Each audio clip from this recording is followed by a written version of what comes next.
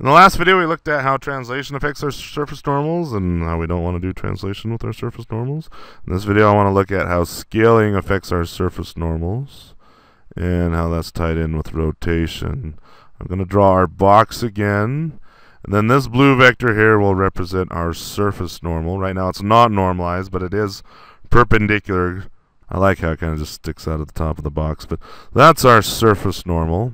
I want to rotate our box this direction. And rotation's pretty straightforward. If you go look at my game engine programming playlist, you know we have sines and cosines up here. Cosine, sine, negative sine, cosine. explain why we need that and all that sort of thing. But essentially, your rotation, I'm going to bump this down to 0.7. And this to 0.7. Ooh, went way too far there. 0.7.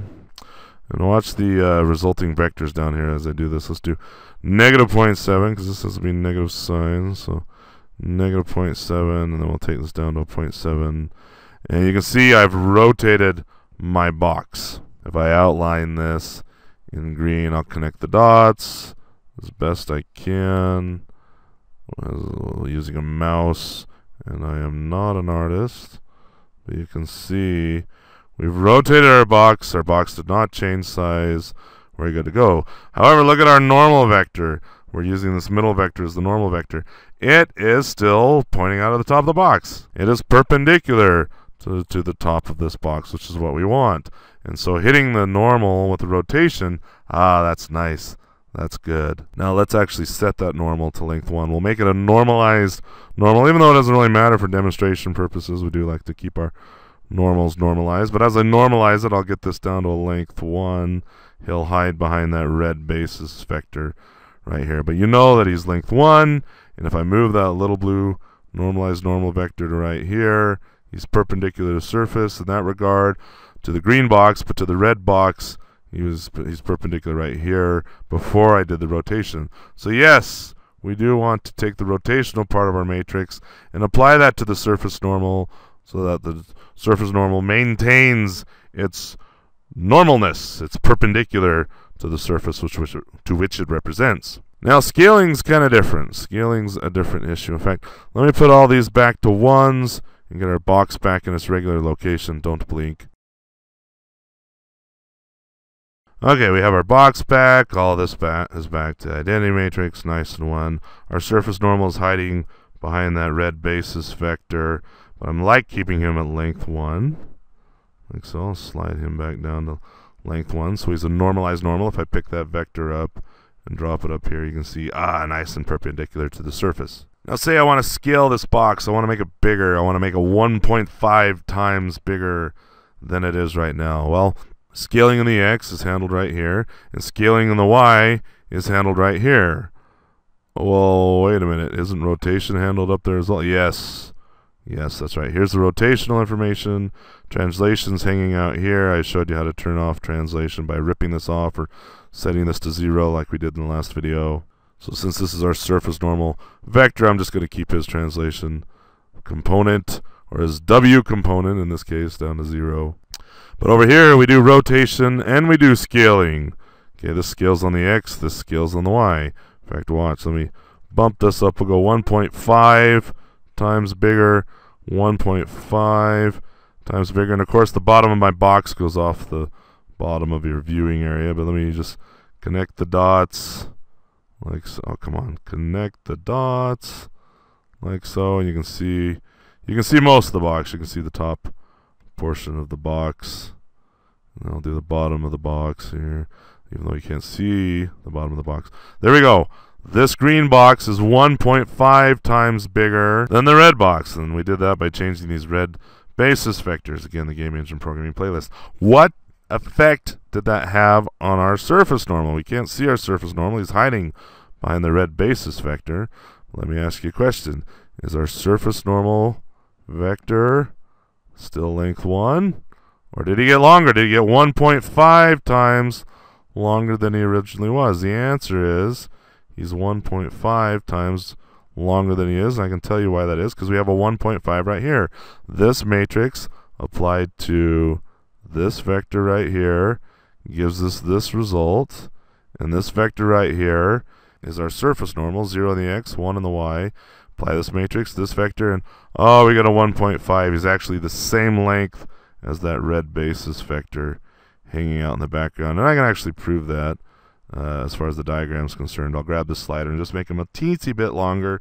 And as I do, watch, he'll poke out from behind the red basis vector. Pop! Pop! See?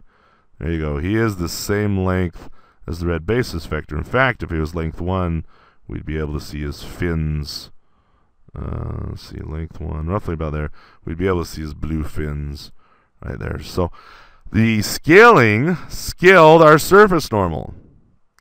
Right? In fact, let me draw the surface normal on top of the green box. With the red box, the surface normal is perpendicular, and it was length 1. With the green box, it's perpendicular, but it's no longer length 1. Well, how can we make a vector length 1? That's real simple. We just normalize it. We divide that vector by its magnitude, and that will take that vector down, back down to length 1. So when you have uniform scaling, key term there, uniform scaling. I'll tell you why uniform is important in a minute. If you have uniform scaling, then you have to renormalize your vector. Otherwise, the vector's too long. If you do the dot product, you got the magnitude of this vector hiding in there. And so you won't just get the cosine, which is what we want. You'll actually get the magnitude of this normal vector times the cosine, which is not what we want. So with the uniform scaling, we have to renormalize this vector. Let's do the rotational trick. Before I changed these all to 0.7 and rotated that red box around, uh, now I changed these two to 1.5 and that gave us a larger green box. But what if I combine both of those? I want to scale it and I want to rotate it. I just happen to know that the 0.7, 0.7, I had 0.7 here, 0.7 here, negative 0.7, 0.7. It's just a nice handy number I memorized because I know cosine, sine, negative sine, cosine, and 0.7 works all the way around. If I take that matrix and, and multiply it to the 1.5s, then my end result will be point or 1.05s all around. So 1.05, yeah, 1.05, oh, too far, 1.05, negative 1.05, negative 1.05, and 1.05. I'm running out of colors to draw with. I'd use yellow, but yellow's hard to see. Let's use black. Let me trace our box again, like so. And this one, I can't, oh, he's down there. Off the recording area, I'm totally going to guess this. Yeah, something like this. There you go. and then this is going to come roughly down. Oh, that was terrible. But if I did that correctly, it'd be more like this. Uh, but you can see we've rotated our box and we scaled our box. Don't blink. I'm gonna, I'm gonna clean this up a little bit. There we go. Best I can. I got rid of that. Anyway, so I scaled my box and I rotated my box. So what what should that do? Here's our original surface normal. What will that do to our original surface normal? Well, we saw the rotation uh, rotates the surface normal just fine, but we also scaled it as well. So our surface normal is actually longer. We have the exact same problem. So with the rotation by itself, we don't need to worry about renormalizing the surface normal vector. But with scaling involved, if it's a uniform scaling, very important it's uniform. In the next video, I'll show you why that keyword uniform is so important. But generally, that's what we're doing. We're just doing uniform scales. If we're scaling at all, generally in our games, we just translate and rotate. But anyway, if we're doing a uniform scaling, then we must renormalize that vector down to length 1, which is somewhere in there. Anyway, you can see our surface normal vector again hiding behind the basis vector. We extended the basis vector. That also extended the surface normal, and I can prove that just by sliding him down. You can see him down there. But if I set him to 1, you can see he's longer. He's 1.05 long in the y, 1.05 long in the x. So what's the total length? That'd be the square root of 1.05 squared plus itself. That's the Pythagorean theorem, which is roughly, calculated offline, roughly 1.48 long. So he's definitely not normalized, definitely not length of 1. But there you go. When you have uniform scaling, you must renormalize your normal vector before using it in calculations. In the next video, I'm going to show you why that keyword uniform scaling is so important.